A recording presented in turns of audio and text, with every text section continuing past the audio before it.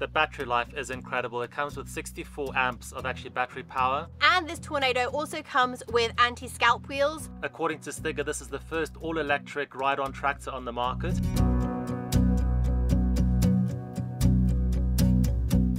Our third year reviewing and using garden tractors or ride-ons.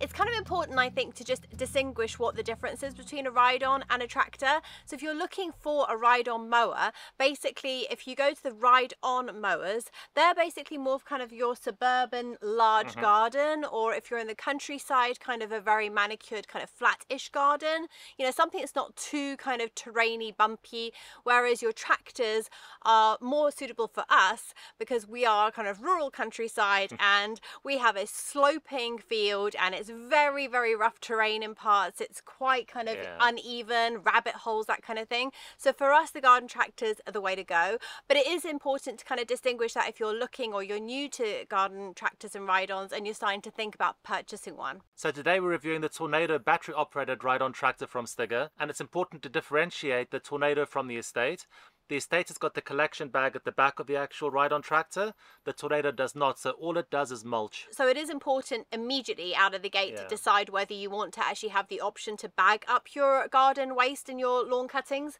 or if you're just happy to just continuously mulch, that is really important. Mm -hmm. um, but bagging, you know, obviously you do then have that weight. So whenever we have done that, you know, you do have to then lift off, and they're quite big. They're I mean, substantial.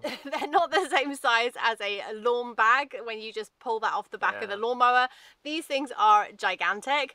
So you are collecting a really large volume of grass cuttings and that weight is not suitable for everybody to be able no. to take off. So if you have those issues and you maybe have back issues or you don't want to be able mm. to kind of lift that huge heavy weight, then mulching really is the way to go. The first thing that really stands out when you look at this ride-on tractor is the cutting deck. It's 108 centimeters and that is wide. Yeah. So getting up and down the field for us was really, really quick because you're cutting at over a meter on a single pass. Yeah, which is great because you do get through your cutting a lot faster. Yeah. I think if you've got nice, big, wide open spaces, then go as wide as you can. Mm -hmm. I think that that is kind of my advice on that. But if you've got a lot of maybe trees in areas, you've got narrow pathways, maybe the shrubs come in and it kind of narrows down in spaces that you need to get through, then that's something to keep in mind because obviously the wider your cutting deck is, the kind of less you can kind of get into those mm. spaces. Mm. So, you know, then you might have to think about having a lawnmower on the side so that you kind of just do yeah. the main areas like we do with the big cutting deck, get that through that really quickly and then take out a little mower and kind of just go into like the mm. nooks and crannies yeah. of the garden. But if you've got a nice big wide kind of open space, mm -hmm. open lawn, then go as wide as you can because you'll just get through it really, really quickly. And this one really did have a very wide cutting deck. Massive. The only drawback with the wide cutting deck is because it's got the side discharge mulcher, that little piece of plastic that basically prevents the grass clippings from flying back at you. Yeah. Eats into your actual space too. So you've got the 108 centimeters plus I think it's another 60 for that side discharge unit. Yeah. So you have to kind of plan when you start cutting around certain trees that you can't get too close from the right hand side because that's where the side discharge is. Yeah. So you need to sometimes make a U-turn and come back with your left hand side so you can get a little bit closer to that so it actually discharges to the side. But it's not a big deal because I mean you do get used to it quite quickly. We certainly did, uh, but it is something that's worth considering. And it's also worth noting that when we first got the ride-on tractor and we came down because it had really was just so wide, and then you had the side discharge on top of it. I kind of thought, well, then what I'll do is I'll just flip that up, yeah. and when I want to go into my kind of width of this bit narrower, then I can just flip that up and just drive in and drive out. No, that's not the case. That mulching chute does not give you the option to be able to flip it up, um, and that's really important not only for your options of actually going into the spaces as Miles said that then adds onto your width of your cutting deck mm. but it's also important for storage so if you're thinking about driving this into a garage and you've only got a certain width and you're thinking about okay well I've measured my cutting deck that's how wide the machine's going to be I'll just drive it into that space no because you then have the mulching on the side mm -hmm. that you mm-hmm. need to add into that width space and if you're thinking you can just actually remove that side chute from the actual mower itself no you can do that but it takes a really long time to to put it back on. No. And then when you do take it off, that grass just shoots everywhere. Yeah. So it's something that you have to kind of live with with this particular mower. That side chute has to stay on permanently. The seat doesn't come with those um, side armrests and in some previous models I've actually found that those are really necessary to uh, almost kind of hold me in and make me feel secure especially if I'm kind of going around bends or if I'm on a slope, I kind of feel like I need that. It kind of helps me feel like I'm staying in my seat. This one doesn't have that. It is just the seat, but for some reason, I don't know if it was the way that the seat has been molded uh-huh. and designed, but I actually felt very secure in it. And I always say this in all of our reviews of garden ride-ons is that it's a heavy investment. And if you're going to buy this, consider it almost like another vehicle in your house. So go and actually sit in it and make sure you feel comfortable in it.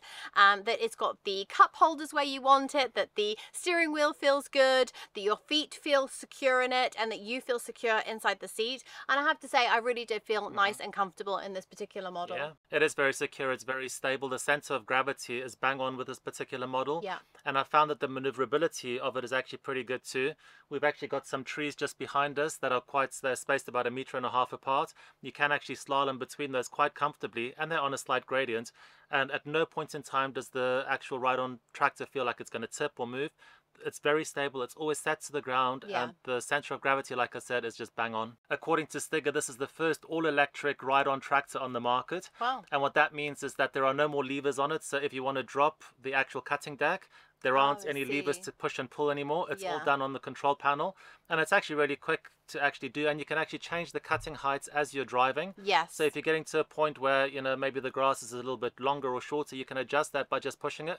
It's quite responsive. It takes about five seconds to react to actually drop or pick up the cutting deck but it is now fully electric. Because it's battery operated, it's got three modes that you can actually use. So it's either you can use it on normal, which is basically just the normal cutting speed. You can boost it if you've got grass that's a little bit longer or if you're struggling to get through, so maybe the grass is a bit wetter, you can boost so it actually chucks it out faster. Or that you just need to do it in a rush. Yes. Maybe you've forgotten to, to cut the lawn and you've got a party or something, guests arriving, and you yeah. quickly need to zip out and just do that first bit yeah. around the house, make it look smart. So it's a very nice way to kind of yeah. give you that extra energy and boost in the machine. Or if you want to preserve energy up to 40% according to Stiga, you can press the eco button and that really does cut down the actual motor speed and the actual cutting speed of the blades and it preserves up to 40% of your battery charge. I was very impressed with the battery mm -hmm. life on this. I, mean, I know that uh, I used it on normal yeah. and I've got to say it just felt like I was going and going and going and I kept on looking down at the, the battery levels thinking, okay, it's got to be dropping to like 20%, 10%. I must be running out now. Nope, I was still just kind of hovered at kind yeah. of 50, 40%. It just didn't seem to move. So I was really uh-huh. impressed with the battery life on this model. The battery life is incredible. It comes with 64 amps of actually battery power and according to Stiga, I think you can do up to 7,000 or 8,000 square meters. Wow. We're mowing around 4,000 to 4,500 square meters. And as you said, at no point in time, for the first time actually with any ride-on tractor, we've not yeah. run out of battery power. Mm. And that's included mowing on grass that was quite long and wet, which obviously makes those blades work a lot harder. At no point in time for the first time did we run out of battery. And on an incline. So, you know, it's yeah. all very well, you know, using the machine on the downward slope, but when you start to come upward and you're still cutting, yeah. you know, that battery is really draining quickly, or it should mm -hmm. be mm-hmm. draining quickly. So, you know, we've always found that, you know, after we've done a few passes on the uphill, we kind of like look at the battery and it's kind of going, Ooh! so this was actually much yeah. better. It was really good. And I just, I was very impressed. It was, we got through the whole lot, the whole garden on one battery, on one charge. Mm -hmm. That's a good point, but it does lead me into one of the frustrating features with regards to this mower and I wonder whether Stiga didn't do this intentionally to try and preserve battery life, and that is when you're actually mowing on the uphill, it slows down to literally just crawling up the hill at certain times. Oh, the actual speed, not the cutting. The speed, yeah. the actual speed of the unit. It just, it just, you just feel like the brakes have come on. Yes. And you and you start to crawl. You turn the blades off, it just activates and it just zips up the hill. Yeah. On the downhills, absolutely no problem. It just it just you know keeps mowing at whatever speed you're actually wanting to mow at. Yeah. Without any uh, actual physical slowdown. But on the uphills, the blades continue to turn, but you just really slow down and you start moving up really, really, really slowly. Yeah. And I do think they've done that to try and preserve battery life. The batteries in this ride-on actually built into the mower, so you can't take them out. Yeah. Uh, and it comes with a standard charger, and it takes about for us about three and a half to four hours to recharge those batteries completely. I also really appreciated the cutting heights. I think the variation was mm. very good. I really liked it. I like the that we have uh, you have very short cutting, um, which would kind of really kind of give you a nice short tight lawn, and then it really goes up quite a lot. It goes up to like 80, 80, 80 mils, yeah. 80 mils, which is eight centimeters, which is quite a thick, chunky kind of mm -hmm. thick lawn, isn't it? And that's a really nice kind of dense lawn if you want yeah. that kind of more country look, which is for us what we're going mm -hmm. for. So I really like the, having all those different variations. And I think it gives you a really nice amount of different options. Mm-hmm. So you can really kind of go for whatever suits your garden and whatever suits your garden at that time of year as well. Yeah. And this tornado also comes with anti-scalp wheels. So basically that means that if you've got any humps or lumps in your garden, like we have quite a lot, um, that when you go over those, that it basically the cutting deck is not just scalping those, like blading those off. So when you kind of look yeah. behind you, you're kind of just left with a strip of soil where it's just kind of shaved off the top of your lawn. Um, so this has that, and I've got to say it really does work. We have gone over a lot of different humps and lumps and bumps, and we are just so uneven, especially in this area where we are now in the field area. And nowhere where we have gone over and cut has it actually shaved off the top of the lawn. So it's actually really worked very, very well. So if you've got rougher terrain like we do, kind of lumpy, bumpy area, kind of more of a kind of a country area, like maybe you've got. Paddock or, you know, a field that you need to cut, then to have these anti-scalp wheels is a bit of a game changer. And I would highly recommend that you just make sure it's on your checklist when you're looking at purchasing a model, that you've got that on the feature list because it really does make a big it difference. Really and the Tornado does come with the kind of usual kind of standard features. We won't go into those too much because they really are very standard. So things like headlights and a bumper and those kind of things. Uh, nice big chunky wheels, really nice solid tires. Yeah.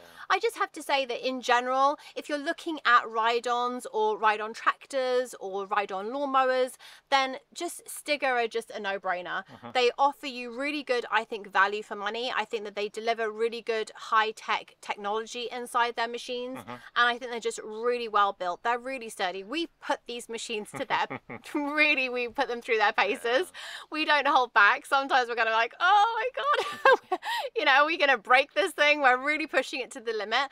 And honestly, they really always come through. I'm always so impressed by the end of the summer. I'm thinking, wow, that really did, did we really did kind of push it to the limit. And, you know, that means on different slopes, in different terrain, you know, riding across, you know, random rabbit hole that you didn't know was in the grass and you kind of go down and think, oh my goodness. But the Stiga machines are very, very well built. And I have to say, I, I just think that they're really, if you're going to invest in something, I personally would put my money into a Stiga. Yeah. And as you said, they do offer value for money. This Tornado is not cheap, but Stiga are backing that because you get a five-year warranty to go with that. So mm. if you're mm. looking to transition from a petrol-based unit to you know something that's electric now that's got a tremendous battery life that mulches only, I do think that this is a serious contender. The takeaway of this model is if you're looking for a ride-on tractor that will handle rough terrain, will handle different slopes, will be electric, and will basically kind of be almost fully automated mm-hmm. because you're not having to lift off heavy bags at the back, you're not having to kind of deal with gear sticks to kind of lower the cutting deck. You kind of just turn it on and you sit on it mm-hmm. and that is it, and then you just go back and park it in the garage. There really is kind of no other interaction required. No. So I think if you're just looking for a very simplistic, simple simple, easy to use, go out, cut the lawn, come back, park it, end of story, then I think that this is a very, very good option and I would highly recommend going and checking it out. So I hope that you have found this video useful and interesting. If you did, as always, please give us a thumbs up, hit the subscribe button below, and we'll see you in our next video. Thanks for watching. Bye-bye.